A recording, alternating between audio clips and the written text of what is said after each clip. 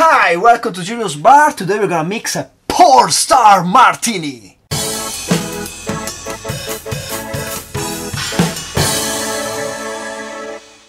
So, porn star martini, it's the most martini that's not a martini ever.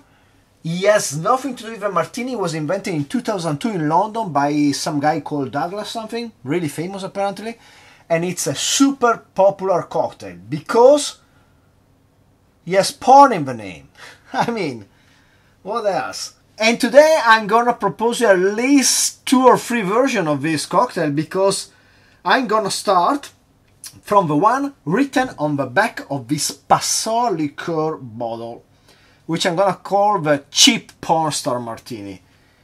It's gonna be made of Passoa, which is this, vanilla vodka and lemon juice. Ah, by the way, vanilla vodka, I don't have it. I'm just gonna mix some normal vodka with some vanilla extract. I mean, I'm not gonna buy vanilla vodka, really. It's like my anathema, the opposite of what I stand for. I already bought this Passoa, which I really doubt I'm gonna dig. So let's get down to it. Let's mix this cheap porn star first. So the cheap porn star call for 15 milliliters of lemon juice. They just look like a lemon that's gonna have 15 milliliters in one half. So I'm gonna squeeze it directly. Then we're gonna have uh, vanilla vodka 30 milliliters. I'm gonna use this Suntory vodka which is my standard go-to vodka because it's really neutral and so I'm gonna put 30 milliliters of this normal vodka. Ooh. that was dangerous. And then I'm gonna add a, a drop of this vanilla extract. Yeah I think there should be. It was a couple of drops. And then the recipe says 45 milliliter of Passoa liqueur. It's uh, oh my it smells like so fake passion fruit it says it's made with natural passion fruit but I don't know what's natural about this. Anyway, 45 milliliters of this stuff, which is really sweet, comes at 20% alcohol. Yes, a bright pink color, which is definitely not the color of the inside of a passion fruit. The passion fruit is red outside, but inside the pulp is yellow, yellow orange. So, tell me what's natural about that. Anyway, this recipe is done. I know I was gonna taste like man, but let's put some ice in our shaker. Let's give this a shake.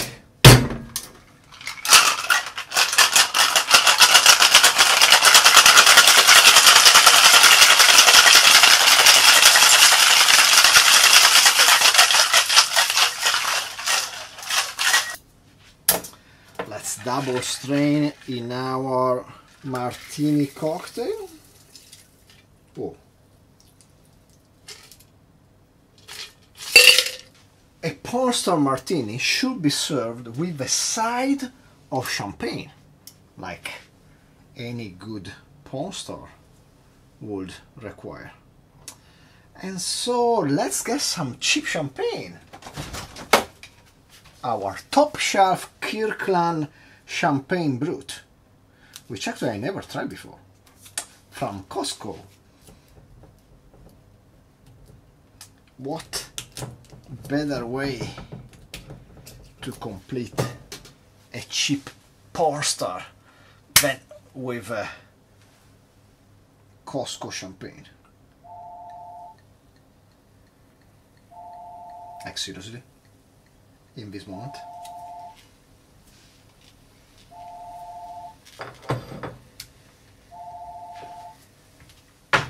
Wrong number. But here we have a, wait, let's top off a bit more. And there you go, a cheap porn star martini. Cheers.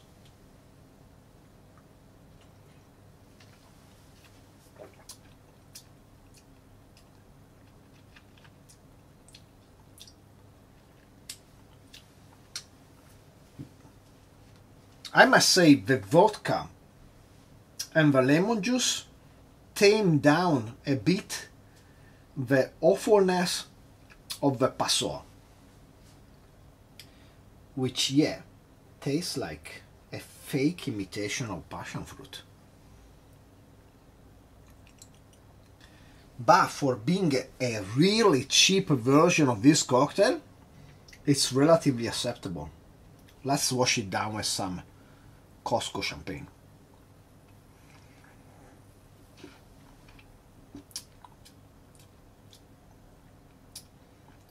Costco champagne is not very great.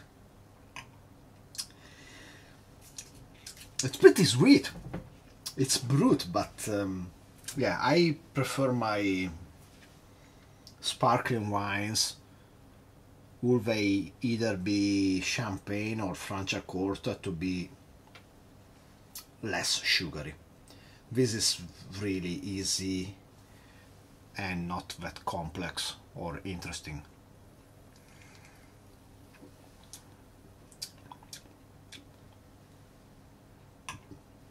It's cheap champagne. but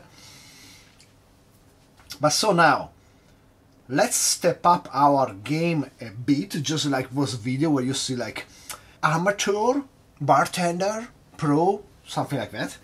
And we do a second version of this Pornstar Martini, and this time I'm gonna follow the default recipe. And let's see if we can get any better result. And for this version of uh, Pornstar Martini, we're to use some real passion fruits, which are extremely rare and expensive here in Japan. But I was able of importing some directly from the town of production, and so they were not so insane expensive. Also in Japan there is a program called Furusato tax, where basically you can use a part of the taxes you pay each year to get some products from some local production. I guess it's a program done to support small towns in Japan. And so we got these passion fruits from this program and so basically we are free. so we're gonna put three halves or one and a half passion fruits pulp in our shaker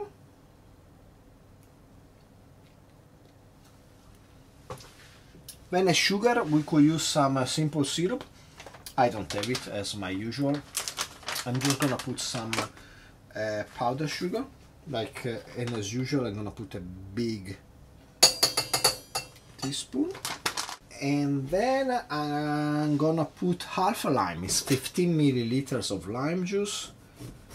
And this is another one of those lime which really looks like just right 15 milliliters. So I'm not gonna measure it. Just gonna make sure the powder sugar is dissolving correctly. And then because I'm not gonna use either vanilla sugar or vanilla vodka which they will both be requirements I'm gonna use two drops of vanilla extract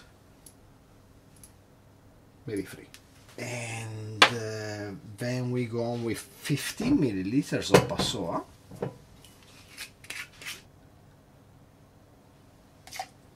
and 60 milliliters of vodka.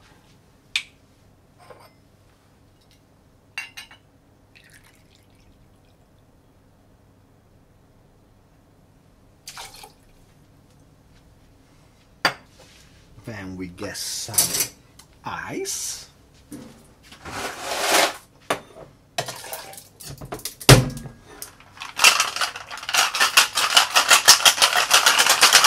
and then we are gonna pour it in our flanged cup. Here's a tip to double strain a cocktail like this that has a lot of pulp I pass it into the smaller half of the Boston shaker. Then, instead of using the Hawthorne strainer, I get the julep strainer. That's gonna let more stuff, more pulp go through, but it's not gonna get stuck with pulp like the Hawthorne strainer. And anyway, I'm gonna strain it another time with a fine strainer anyway. So I think this helps a bit with the pouring of the cocktail. As you can see all the seeds anyway they stop down there in my fine strainer and then I can just get the last drops of the juice and pulp like this with a bartender spoon. Ooh. And then we decorate with the half of the passion fruit that was left over. Ooh. It's a really pretty decoration, but a completely useless one. I mean, you cannot eat it. We put our cheap Costco champagne on the side and we are done. Here is another porn star martini. Let's call it a normal porn star. Your average porn star martini. Cheers.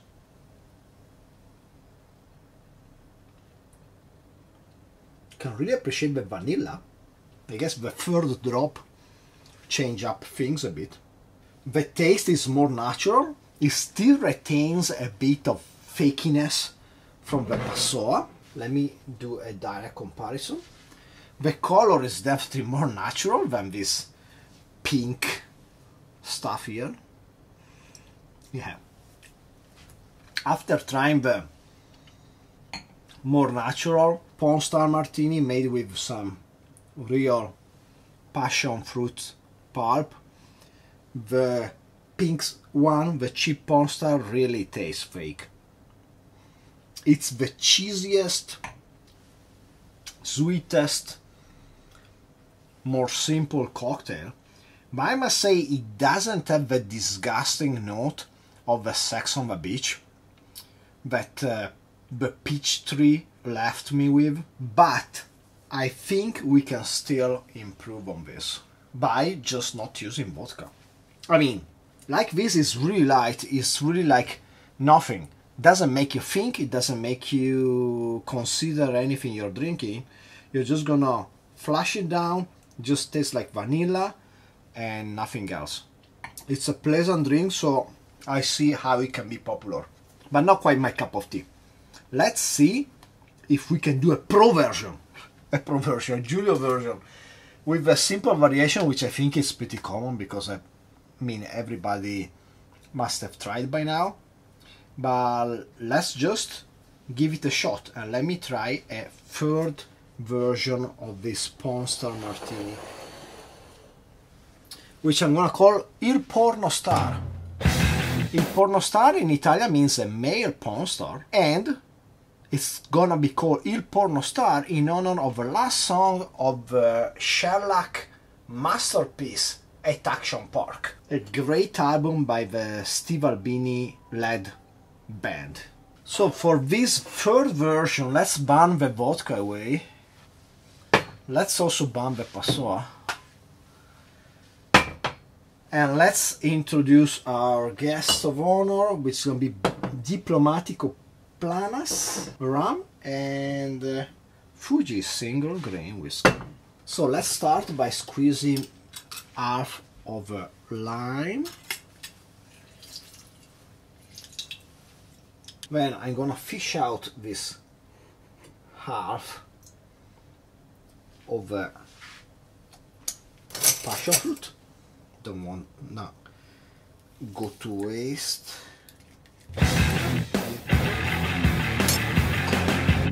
together with one more passion fruit pulp. So the amount of passion fruit pulp is the same as for the default recipe. Okay. Then as sugar I'm gonna use some agave syrup one dish. I'm gonna skip entirely the vanilla and instead I'm gonna put one teaspoon of this uh, Fuji single grain whiskey which has a lot of vanilla flavor. It would be like a bourbon made by Japanese Kirin. So let's put one teaspoon of this, maybe a bit more. That was a kind of lame spoon, it was not quite full. And then I'm gonna put 45 milliliters of our Diplomatico Planas, 47%. It's my favorite rum from the Diplomatico line. It's a clear rum, but it's aged six year, and then it's filtered to make it look transparent. It's uh, really smooth and delicious, despite being uh, 47%, which is a respectable amount of alcohol.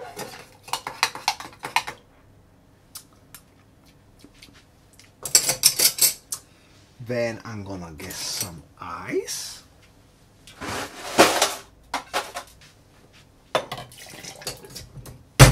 Let's give this a shake.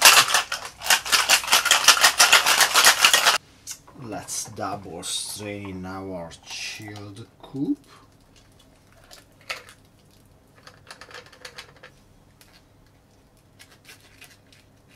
Okay, and let's give everything a try, starting from our latest entry, the Pro version, Il Porno Star. Cheers.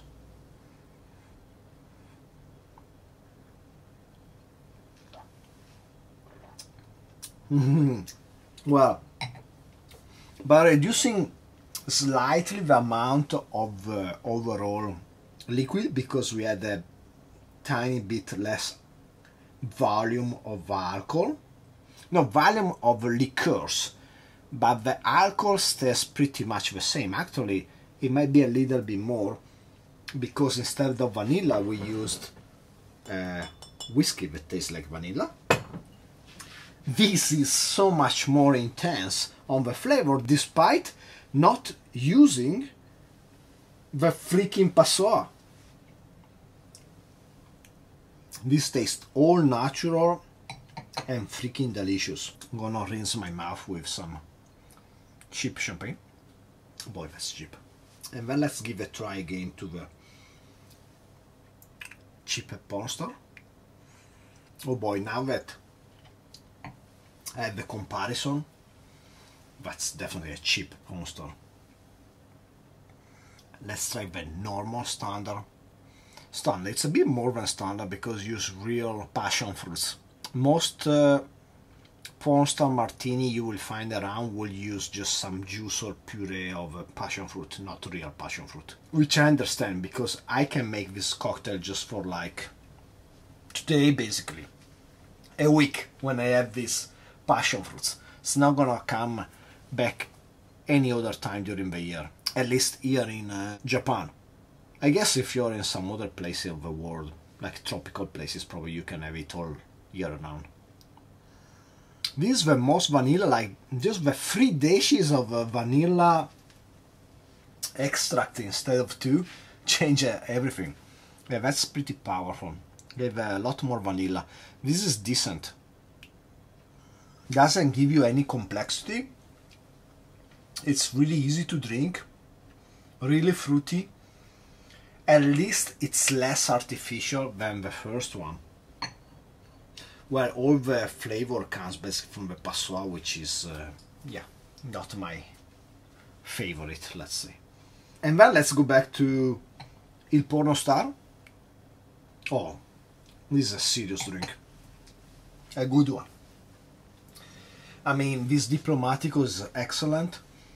The touch of uh, Fuji single grain really gives that touch of uh, vanilla, but without feeling like uh, a cheap vanilla. By using the vanilla flavor of the Fuji, which probably has the vanilla flavor coming from uh, oak barrels, this one tastes even better. A bit more intense, a good, beautiful orange color, just a dash of agave syrup. This in the end is uh, basically a variation on a daiquiri. It became a passion fruit daiquiri, which is really good. It's really good. So I hope you enjoyed the video. Please like, subscribe, comment down below. Shake yourself a drink and share with anybody you like. And in the end, do whatever you want. It's porn star season. No, it's summer. It's really hot. and uh, I hope to see you next time. Cheers.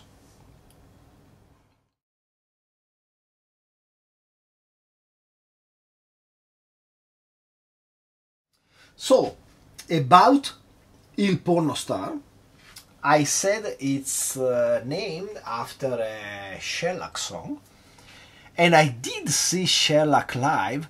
And in my previous career, I was a electronic guitar pedal maker. I made some uh, effects pedal for guitar, and so I managed to meet a few of my idols and one was Steve Albini, which I managed to take a picture with.